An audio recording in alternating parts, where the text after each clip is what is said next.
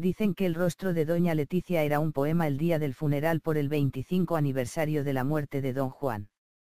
Uno de Alan Poe, sombrío y nebuloso, mientras se adentraba en la basílica del monasterio de El Escorial y ocupaba su sitio de honor junto al altar. La reina, periodista vocacional, sabía que era imposible cortocircuitar la difusión de imágenes tan jugosas. En primera fila, sonriente y especialmente guapa, aguardaba la hermana proscrita del rey Felipe, la infanta Cristina, junto a su hermana la infanta Elena, sus tíos la infanta Margarita, Carlos Zurita e Irene de Grecia. De no haber existido el archifamoso vídeo, Cristina de Borbón hubiera sido la protagonista de la información real de esa semana, dado que no aparecía en público junto a los reyes desde hace casi un año, en mayo de 2017, con motivo del funeral de la infanta Alicia de Borbón Parma. Tampoco acudió a la celebración familiar por el 80 cumpleaños de su padre, el rey Juan Carlos, el pasado enero. Esto, y el hecho de que el Tribunal Supremo esté ya muy cerca de pronunciarse en casación sobre la situación de Iñaki Urdangarin, hacían dudar sobre su presencia en el Escorial. Pero la infanta acudió, como, casi, siempre que la reclama su familia. Lo sabemos porque había más medios acreditados en el monasterio aparte del fotógrafo habitual de la casa del rey. A pesar de que doña Cristina entró andando, ocupó la primerísima fila y departió amablemente un buen rato al final de la liturgia con el resto de su familia, los cuatro reyes incluidos, en las salas capitulares, no aparece en ninguna de las imágenes distribuidas por Zarzuela del momento. Tampoco aparece en su nombre ni el de su hermana la infanta Elena en la nota de prensa elaborada oficialmente sobre el acto.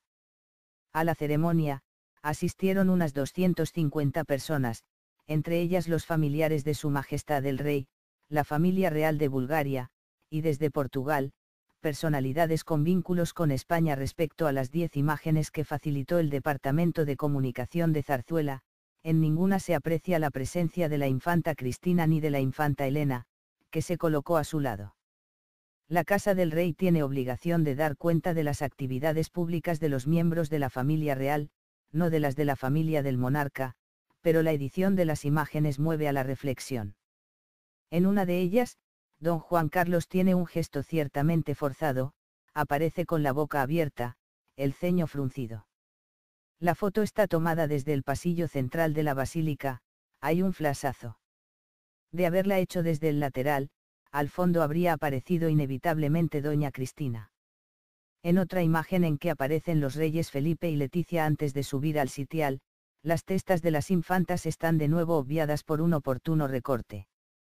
La otra crónica ha consultado a dos fotógrafos con experiencia en actos institucionales y afirman que no se puede hablar de manipulación en las fotografías, sino quizá de una decisión editorial intencionada. Igual los encuadres no son los más acertados, pero no hay Photoshop ni se han tocado las imágenes. En todo caso, obviar no es delito. Proscrita del rey Felipe, la infanta Cristina, junto a su hermana la infanta Elena, sus tíos la infanta Margarita, Carlos Zurita e Irene de Grecia.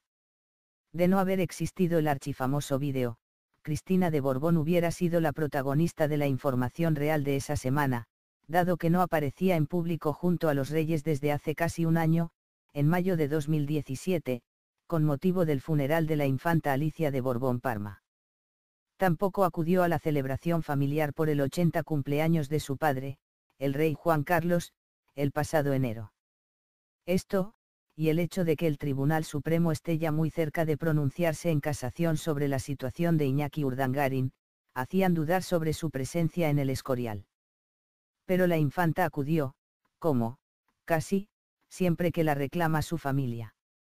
Lo sabemos porque había más medios acreditados en el monasterio aparte del fotógrafo habitual de la Casa del Rey.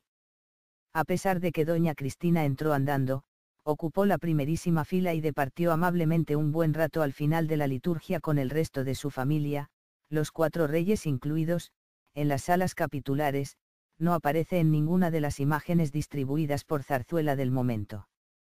Tampoco aparece en su nombre ni el de su hermana la infanta Elena en la nota de prensa elaborada oficialmente sobre el acto.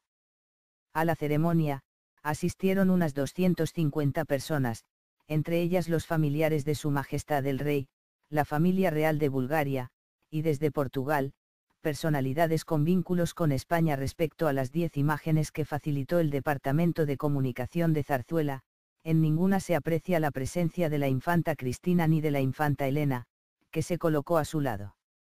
La Casa del Rey tiene obligación de dar cuenta de las actividades públicas de los miembros de la familia real, no de las de la familia del monarca, pero la dicen que el rostro de doña Leticia era un poema el día del funeral por el 25 aniversario de la muerte de don Juan.